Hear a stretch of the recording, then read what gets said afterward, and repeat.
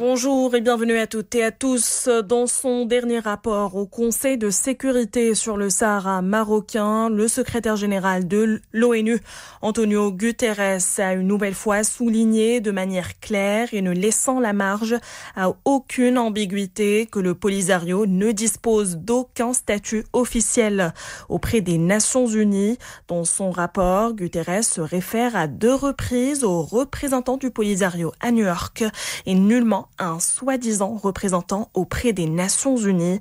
Le rapport de l'ONU démontre clairement que ni ce groupe armé ni ses représentants ne jouissent d'une quelconque euh, ou d'un quelconque statut ou d'une représentation à l'ONU qui regroupe exclusivement les États membres souverains. Les deux chambres du Parlement tiendront aujourd'hui une séance plénière conjointe dédiée à la présentation du projet de loi de finances 2023 par la ministre de l'économie et des finances.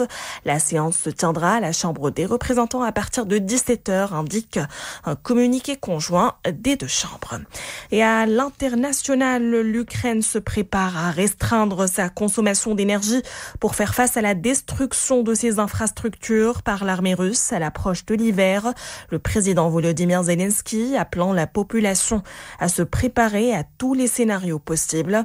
Alors que les bombardements ont continué hier partout en Ukraine, y compris dans la capitale, Kiev a accusé la Russie de préparer une déportation massive de la population des territoires récemment annexés et l'enrôlement de forces de citoyens ukrainiens dans son armée.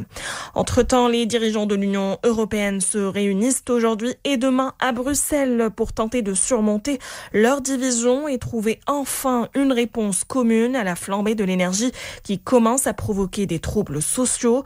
La guerre en Ukraine et les sanctions imposées à la Russie ont provoqué un choc sur les prix du pétrole, du gaz et de l'électricité. Mais depuis février, l'Europe réagit avec lenteur, affaiblie par les intérêts divergents des pays membres. Voilà, c'est la fin de ce Flash Info.